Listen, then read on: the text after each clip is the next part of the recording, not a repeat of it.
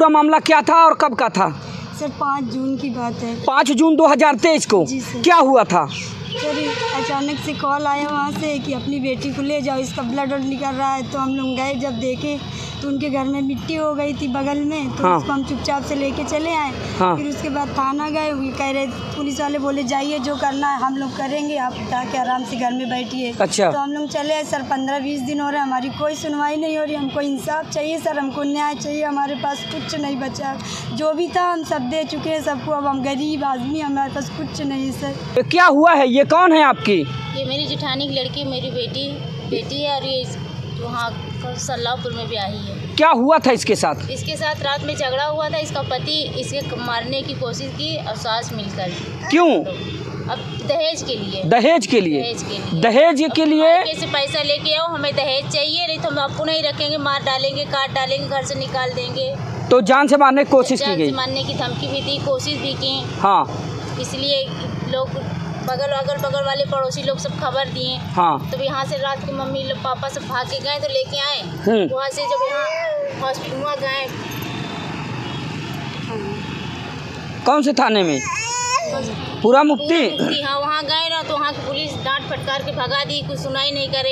यहाँ जाओ, वहाँ जाओ, बस इधर, उधर इधर, उधर भटकाती है, बस जितना पैसा यहाँ लगाओ, वहाँ लगाओ, बस, और कुछ सुनाई कुछ नहीं हुआ आज तक। नमस्कार दोस्तों, स्वागत है आप सबका दर्शक न्यू ट्वेंटी फोर में। बता दें कि आज हम प्रयागराज में उपस्थित हैं और प्रयागराज के पूरा मुफ्ती थाना अंतर्गत एक ऐसा मामला प्रकाश में आया है कि अभी सुनते ही आपके होश उड़ जाएँगे। बता दें कि दहेज दहेज दहेज, यानी कि दहेज समाज में एक अभिशाप बन गया है। आज एक बेटी दहेज की बलि चढ़ते चढ़ते बची है तो वो पीड़िता हमारे साथ मौजूद है और पीड़ित परिवार हमारे साथ मौजूद हैं। और आए दिन इस तरह की तमाम घटनाएँ प्रकाश में आती रहती है, जिसमें कभी ऐसा भी देखा जाता है कि प्रशासन के द्वारा ठोस कार्रवाई न होने के बाद दहेज लोभियों की जो प्रतिभाएँ होती हैं, वो और ज़्यादा बढ़ती दिखाई देती हैं। आए दिन ऐसे मामले आते हैं कि तमाम बहन बेटियाँ दहेज की बलि चढ़ जाती हैं ऐसे में। बता दें कि ये जो पीड़िता हमारे सामने दिख रही है, जो बेटी हमारे सामने दिख रही है, अभी इसको हम दिखाने का काम करेंगे। आप देखेंगे कि दहेज के लिए इसके पति द्वारा किस तरह से बीते पाँच जून 2023 को इसकी गला रेत कर हत्या जो है करने की कोशिश की गई थी तो वो अभी आप तस्वीरों में देखेंगे। और पीड़िता की माँ इस वक्त हमारे साथ मौजूद हैं और पीड़िता की मौसी है। और बता दें कि लोगों का रो रो के बुरा हाल है और थाना की बात करें तो थाना की चौखट लांगते लांगते ये लोग थक थक गए हैं और अभी तक इन लोगों को न्याय नहीं मिला है। दोषियों के ऊपर किसी भी तरह की कोई ठोस कार्रवाई होती नहीं दिख रही है। दर दर की ठोकरें खा रहा है ये पीड़ित परिवार और ये बिटिया है। बिटिया को अभी आप देखेंगे कि मरते मरते बची है बिटिया। इस पीड़िता के सास और इसके पति के द्वारा इसकी गला रेत कर हत्या करने की कोशिश की जाती है। आनंद फानंद में बिटिया के द्वारा बचाव के तमाम प्रयास किए जाते हैं, जिससे इसकी जान तो बच जाती है। उसके बाद जैसे ये थाने का सहारा लेती है, थाने में एनसीआर दर्ज किया जाता है, लेकिन कोई संतोषजनक कार्यवाही न होने के बाद आज ये पीड़ित परिवार रो बिलख रहा है, दर दर की ठोकरें खाने को मजबूर है। तो अभी आइए इनसे हम बातचीत करते हैं, जानने का प्रयास करते हैं कि दरअसल पूरा मामला है क्या? क्या नाम हुआ आपका? पूनम नाम है सर बोल नहीं पाते हैं ऐसा नाटक गला कटा है। ओ। बोल नहीं पाते समझ लो कि ओ बिटिया बोलने की स्थिति में नहीं है बता दें कि बिटिया का गला जो है आप देखेंगे कैमरा मैन से कहेंगे थोड़ा सा फोकस करें। ज़्यादा गर, गर्दन नहीं उठाइएगा। थोड़ा सा फोकस करें आप देख सकते हैं किस तरह से इस बिटिया की निर्मम हत्या करने की कोशिश की गई है? इसके पति के द्वारा और इसके सास के द्वारा आए दिन ऐसे समाज में मामले आते रहते जहाँ पर तमाम बिटिया जो हैं वो दहेज लोभियों की बलि चढ़ जाती हैं। ऐसे में एक ये पीड़िता है, इसका आप देख पाएँगे कि चाकू से इसका गला बीते पाँच जून 2023 को इसका गला रेत कर इसकी हत्या करने की कोशिश की गई थी। तो ये पीड़िता है हमारे साथ, आप देख पा रहे होंगे किस तरह से इसके गले पर धारदार हथियार से इसका गला काटने की कोशिश की गई है। और वहीं पर हमारे साथ और तमाम लोग हैं, इनसे बातचीत करेंगे कि दरअसल पूरा मामला है क्या? क्योंकि बिटिया बोलने की स्थिति में नहीं है, जिस तरह से आप देख पा रहे हैं, इसके गले में चोट है, काफ़ी गंभीर चोट है। तो बिटिया बोलने की स्थिति में नहीं है खाली इसके आँसू बया कर रहे हैं कि इस पर क्या बीत रही है इस वक्त। तो अभी हम इनसे ज़्यादा बातचीत नहीं करेंगे, इनको ज़्यादा परेशान नहीं करेंगे। दरअसल पीड़िता जो है, बोलने की स्थिति में नहीं है। बता दें कि पीड़िता का जिस तरह से गला रेता गया है, अभी भी टाँके लगे हैं। कैमरामैन से कहेंगे, एक बार फिर से फोकस करके दिखाएँ, ये आप देख पाएँगे कि गले में टाँके लगाए गए हैं, पीड़िता के गले में टाँके लगे हुए हैं। तो बोलने की स्थिति में नहीं है और पीड़िता की मौसी है उनसे हम बातचीत करते हैं उनसे जानते हैं दरअसल पूरा वाकया क्या था और कैसे इस घटना को अंजाम दिया गया था। तो आइए इनसे बातचीत करते हैं। ए, क्या नाम हुआ आपका? शांति देवी। शांति देवी। ये कौन है आपकी? मेरी दीदी की बिटिया है सर। यानी आपकी बहन की बेटी है ये। क्या हुआ था? पूरा मामला क्या था और कब का था? सर पाँच जून की बात है। पाँच जून 2023 को। क्या हुआ था? सर अचानक से कॉल आया वहाँ से कि अपनी बेटी को ले जाओ इसका ब्लड व्लड निकल रहा है। तो हम लोग गए जब देखे तो उनके घर में मिट्टी हो गई थी बगल में। तो हाँ। उसको हम चुपचाप से लेके चले आए। हाँ। फिर उसके बाद थाना गए। वो कह रहे पुलिस वाले बोले जाइए जो करना है हम लोग करेंगे। आप जाके आराम से घर में बैठिए। अच्छा। तो हम लोग चले आए। सर पंद्रह बीस दिन हो रहे हैं। हमारी कोई सुनवाई नहीं हो रही। हमको इंसाफ चाहिए सर। हमको न्याय चाहिए। हमारे पास कुछ नहीं बचा। जो भी था हम सब दे चुके हैं सबको। अब हम गरीब आदमी हमारे पास कुछ नहीं है सर। इससे ज़्यादा और हम नहीं बोलते हमारा इंसाफ चाहिए इसको तो सुना आप लोगों ने बताया बताया जा रहा है कि एक दिन की बात है यानी कि पाँच जून 2023 की बात है जब इस लड़की के परिजनों के पास इनके ससुराल वालों के द्वारा फ़ोन आता है और फ़ोन कर यह बताया जाता है कि आपके बेटी के गले से काफ़ी ब्लीडिंग हो रही है तो आकर अपनी बेटी को आप ले जाइए। उसके बाद जैसे ही परिजन इस लड़की के ससुराल पहुँचते हैं तो देखते ही सब हैरान हो जाते हैं कि दरअसल ऐसा हुआ कैसे। आइए इनकी माता जी हैं इनसे बातचीत करते हैं। दरअसल पूरा वाकया क्या था? और बता दें कि आज का यह कोई नया मामला नहीं है। आए दिन ऐसे समाज में मामले देखने को मिलते हैं जहाँ पर दहेज की बलि चढ़ जाती है बहन बेटियाँ। कैमरामैन से थोड़ा सा इधर आए। तो लड़की की माता है इनसे बातचीत करते हैं। दरअसल पूरा मामला क्या है? क्या नाम है आपका? हमारा संजू नाम है। संजू नाम। है हाँ। तो क्या था माता जी क्या है पूरा मामला? छह साल हो गए, शादी कहानी धमका रहा मार डालेगी, करेंगे, वो करेंगे तो हम सोचे हो इसे हटा, जाने तो जाने दो। हम नहीं बोलते रहे। तो हमको फ़ोन करे कि आके लेवा ले जो हम कल भेजा जब बस हमको भेजा है नहीं आए ओके बिहान में बुलाई फ़ोन करके अपनी के आके लेवा ले जो गाँव देख कर खून का चढ़ पड़ रहा वो बगल में मट्टी न हो तो माटी न तो बगल में मट्टी हो गया उसे लिया लेके चले आ फिर थाने गवा रात के ग्यारह बजे रात के अब हमारे कोई सुनाई नहीं हो रहा। करते क्या हैं आप लोग? हम लोग काम करते हैं झाड़ू पोछे करके खाते किराए से रहते हैं। कौन से समाज से आते हैं? वाल्मीकि समाज? हाँ वाल्मीकि समाज।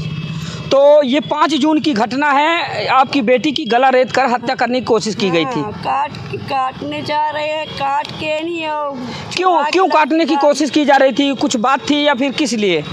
अरे वही कि बोल रहे कि जाए अपनी मम्मी से पैसे वैसे लेके आओ हमको हमारे पास नहीं हम का- गधेलन के खवाई कि तुम्हें बार बार दे वही के लिए आए। यानी कि दहेज का मामला है। दहेज के दहेज मांगा जा रहा था। दहेज मांग रहा है। तो ये आप सुन पा रहे हैं ये पीड़िता की माता हैं और पीड़िता की माता के द्वारा बताया जा रहा है कि दहेज के लोभियों ने हमारी बेटी को दहेज की बलि चढ़ाने की कोशिश की है।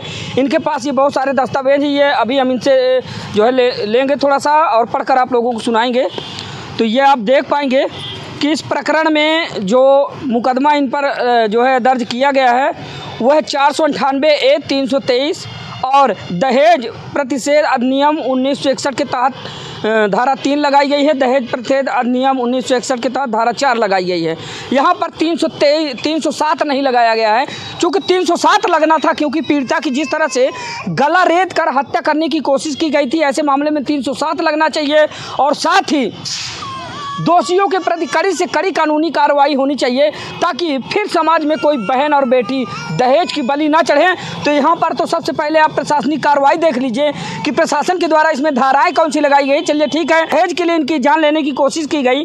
तो दहेज प्रथा तो इसमें लगाया गया है, लेकिन वहीं पर 307 क्यों नहीं लगाया गया, साहब? 307 क्यों उसमें से गायब कर दिया गया?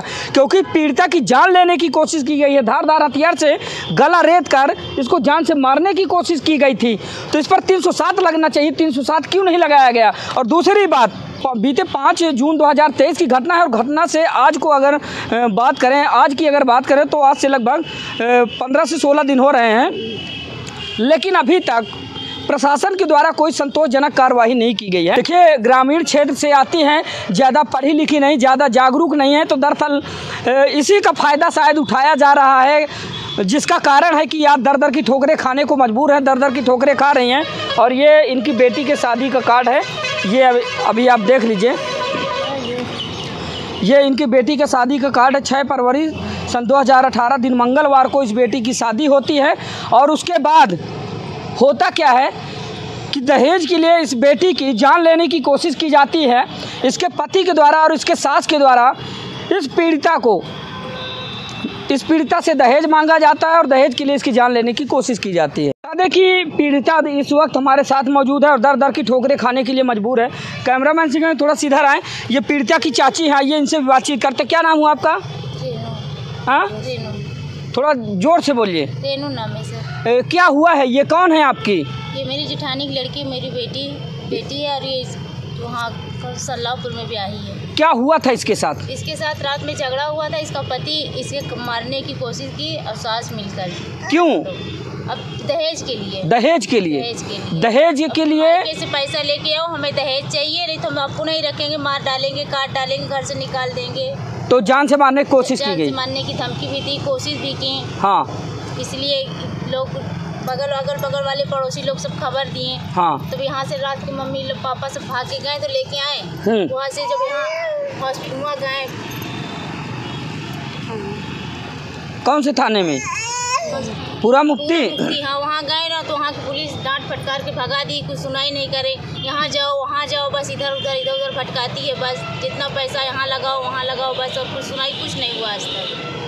यानी कि दहेज के लिए आपकी बेटी की जान लेने की कोशिश की गई। दहेज के लिए जान लेने की कोशिश की। तो क्या क्या- जो है शासन प्रशासन से क्या क्या कहना चाहेंगे? किस तरह के न्याय की गुहार लगाना चाहेंगे आप? हम यही न्याय मांगते हैं कि हमारी बेटी को इंसाफ दिलाइए उसे जेल की हवा खिलाइए बस। यानी कि इसमें ठोस कार्रवाई होनी चाहिए ताकि कोई दूसरी बेटी जो है इस तरह से दहेज की बलि ना चढ़े। ना चढ़े। है ना? हमारी बेटी के साथ हुआ है इस तरह किसी और बेटी के साथ ना हो। ना हो। ये चाहती हैं। कहीं ना कहीं यही कारण तो नहीं है कि प्रशासन के द्वारा उचित न्याय न मिलने की वजह से दहेज के जो लोभी हैं वो आए दिन इस तरह की घटना को अंजाम देते हैं। अंजाम देते हैं जी सर। इसीलिए हम कहते हैं उसे कड़ी से कड़ी सजा मिलनी चाहिए बस। ताकि समाज में और ऐसे ना हो पाए। और ऐसे न हो पाए किसी के साथ जो हमारे साथ हुआ। कितने टाके लगे हैं बेटी की गर्दन में? तीन। तीन टाके लगे हैं। तीन टाके लगे हैं। बता दें कि इस बिटिया के गर्दन में तीन टाके लगाए गए हैं और जिस तरह से इसका गला रेता गया है तो आप देख पा रहे होंगे, एक बार पुनः कैमरामैन से कहूँगा, थोड़ा सा पास में आकर दिखाएँ, ये आप देख पाएँगे कि टाँके अभी भी लगे हैं टाँके कटे नहीं हैं, और इसके पति के द्वारा, इसके सास के द्वारा, सिर्फ़ दहेज के लिए इसकी गला रेत कर हत्या करने की कोशिश की गई थी। पीड़िता दर दर भटक रही है न्याय के लिए, और हर वो नामुमकिन कोशिश कर रही है कि हमें किस तरह से न्याय मिल पाएगा। जिधर भी इनको ऐसा लगता है कि यहाँ से हमें न्याय मिल पाएगा, वहीं जाकर उसी चौखट के सहारे में ये पहुँच जाती हैं और उसी चौखट का दरवाज़ा जाकर ये खटखटाती हैं। तो आप देख पा रहे हैं किस तरह से एक पीड़ित परिवार, जिनको कि दहेज के लिए परेशान किया गया था और बेटी को दहेज के लिए मारा काटा गया था तो ये आप देख पा रहे हैं। तो बता दें कि आए दिन इस तरह से तमाम मामले समाज में देखने को मिलते रहते हैं, जिसमें प्रशासन के द्वारा कोई ठोस कदम न उठाए जाने के चलते आए दिन जो दहेज के लोभी हैं, वो इस तरह की घटनाओं को अंजाम देते रहते हैं। तो आशा करता हूँ कि ऐसे मामले को लेकर जो प्रशासन है, वो काफ़ी चैतन्य होगा और इसमें ठोस कार्रवाई करेगा ताकि कोई दोबारा दहेज का लोभी इस तरह की घटना को अंजाम न देने पाए। तो ऐसी खबर में आपकी राय क्या है दोस्तों? कमेंट करके ज़रूर बताएँ कि किस तरह से इस पीड़िता को न्याय मिलना चाहिए। अगली खबर में जल्द मिलते हैं, तब तक के लिए नमस्कार।